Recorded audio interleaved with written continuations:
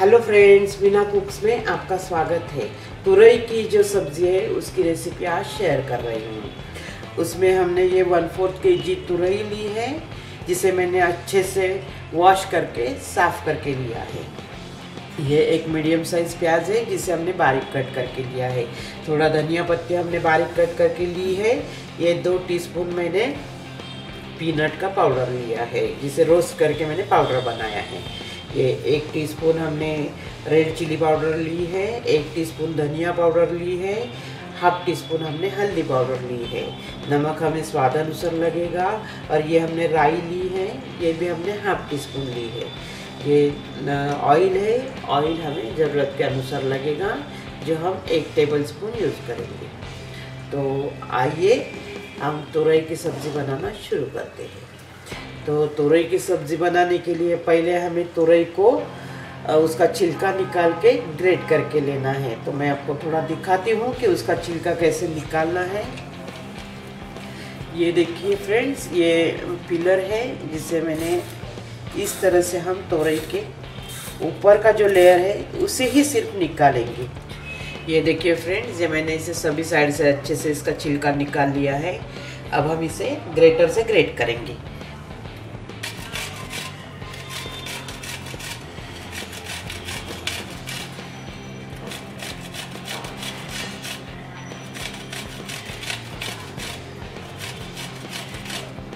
ये देखिए फ्रेंड्स ये हमने तुरई को ग्रेट करके लिया है।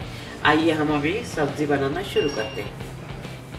आइए फ्रेंड्स गैस ऑन करके उसके ऊपर हमने कढ़ाई रख ली है। अब हम ये एक टेबल स्पून ऑयल इसमें डालेंगे।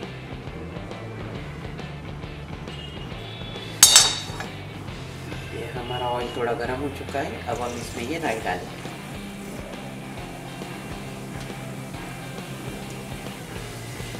राई के चटकने पे हम ये प्याज इसमें डालेंगे।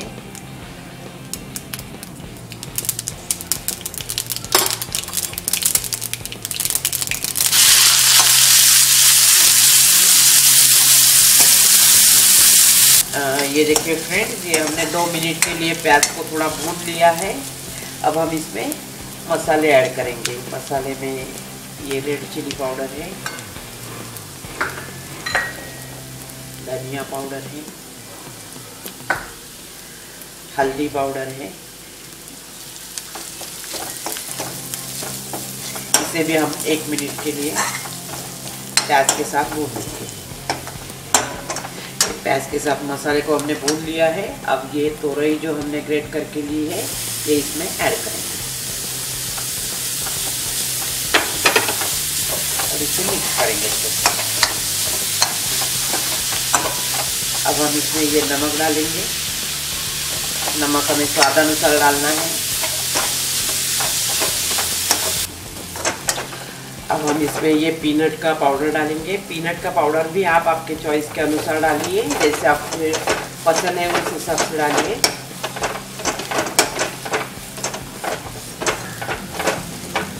अब हम इसे दो मिनट के लिए पकने देंगे। सब ये देखिए फ्रेंड्स ये हमारी सब्ज़ी बन चुकी है। अब हम इसे सर्विंग बाउल में निकाल लेते हैं। ये देखिए फ्रेंड्स ये हमारी तुरई की सब्ज़ी बनके तैयार हो चुकी है। उम्मीद है ये आप सबको बहुत पसंद आएगी। और अगर मेरी ये रेसिपी आपको पसंद आती है तो प्लीज़ इसे लाइक कीजिए, अपने फ्रेंड्स के साथ शेयर कीजिए और मेरे चैनल को सब्सक्राइब कीजिए। Thank you